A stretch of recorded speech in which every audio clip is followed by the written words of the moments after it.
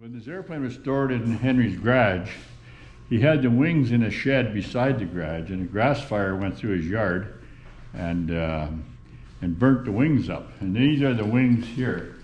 This this is what remains of the wings of this airplane.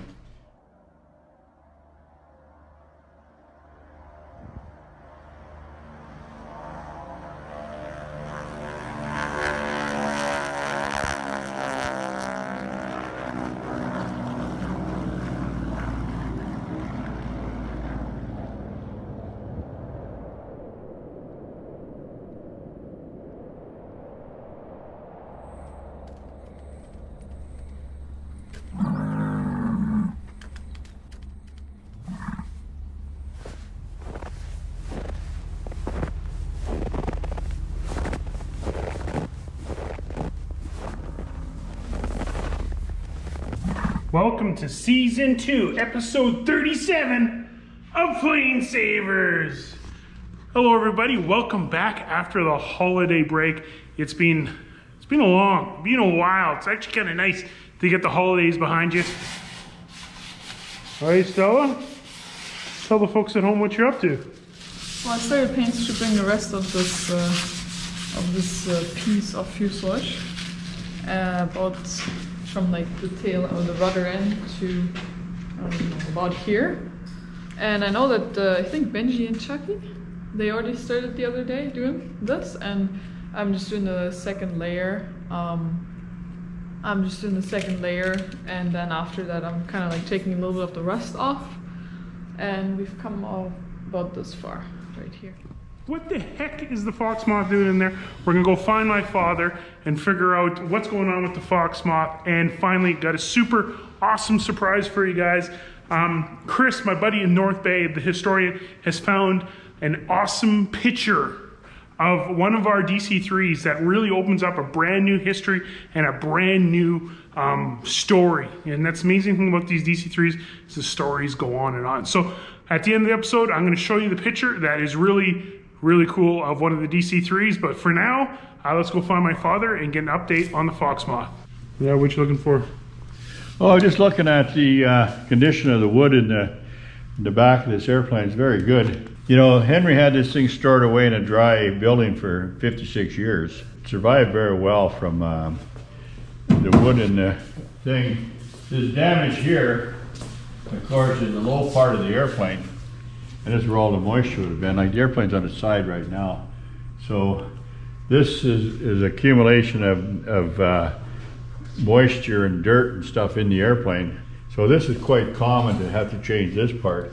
It's also quite common to change it if you, on skis, knock your skis off on rough drifts. This is what you're gonna break. So there's repair schemes in the book that we change this here section, which we'll be changing.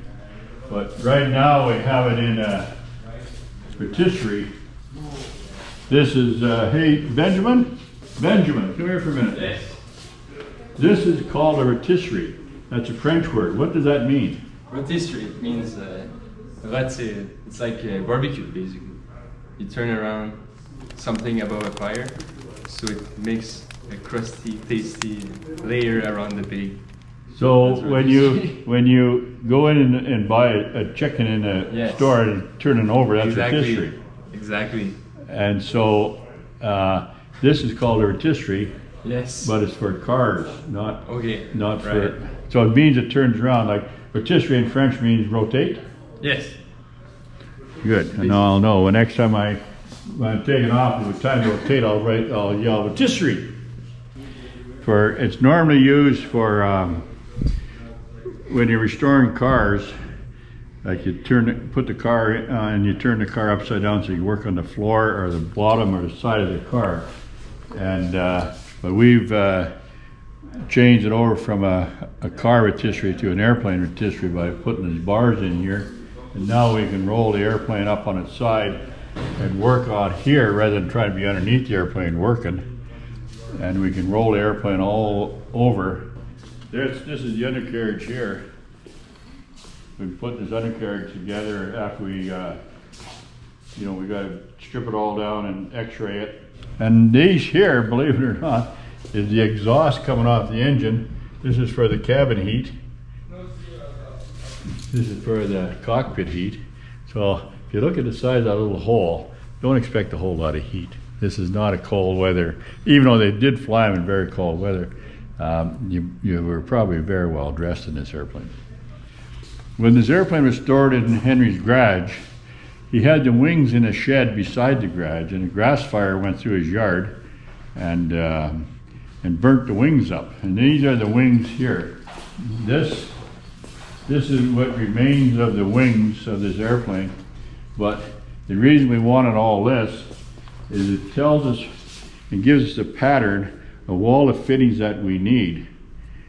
All the fittings are here, and the wires are here, and then we'll, we'll be able to uh, duplicate these when we get another set of wings, because all the fittings are here. And this was not a, this was not a very, uh, this fire was a grass fire. It wasn't a very intense hot fire. I can tell that by, by just looking at it. The fire was not any really hotter than a campfire and because uh, nothing really melted or distorted, it's, it's just uh, burnt the wooden fabric off the wings. So we got no wings.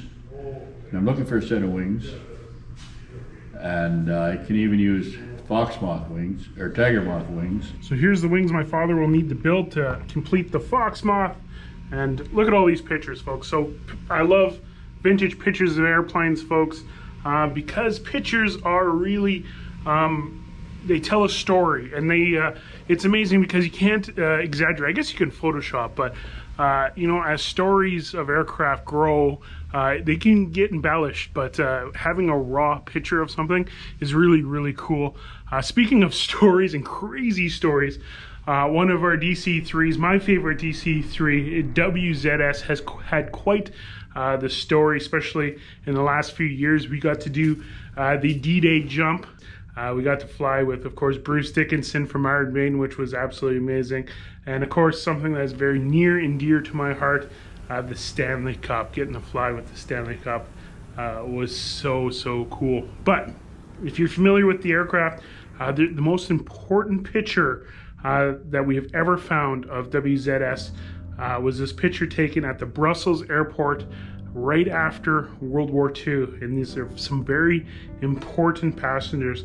They're liberated POWs and concentration camp survivors being saved. And uh, you can imagine the hell that these guys went through. And you can almost see a glimmer of smiles and, and happiness to be free. And, and WZS, this very aircraft, actually helped save that. So moving forward, another picture that Chris found of course, we're going to get to the picture I promised uh, at the beginning of the video, but another picture Chris found uh, earlier was a picture of WZS right after World War II uh, being uh, converted to the Canadian version of uh, the C-47 and being uh, outfitted to ferry back to Canada. Now, here's where the picture uh, I Promise this morning comes in. Back in March 1948, WZS was given a rescue mission to the top of the world. In fact, actually, Arctic Bay. It was dubbed Operation Dodds. Its task was to rescue Miss Edith Dodds and an Inuit patient. We will learn more about this heroic mission later on in an article that's coming out, and I'll make sure to share it with you guys. But for now, we got this amazing picture from Arctic Bay. Uh, this is so cool. The one thing that pops out right off the bat is how the pilot is fueling out of the window, out of the window, the same windows that you've seen in, in the concentration camp survivors pictures. Uh, that aircraft actually set a record. That was the highest any aircraft has ever flown without skis to that point. Of course, WZS handled it no problem without having skis, but that was a very cool little tidbit. So when you take into account the whole picture of this aircraft working for Buffalo Airways, you know, had this amazing history throughout the war with D-Day, liberated concentration camp survivors, and then after the war, uh, providing you know rescue missions within northern Canada. This is just a whole picture of this airplane that just really makes me proud to work around these aircraft.